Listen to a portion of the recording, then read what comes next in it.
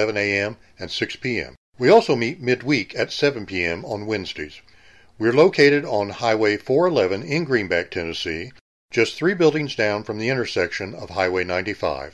If you can't meet with us in person, please join us again next time for our broadcast.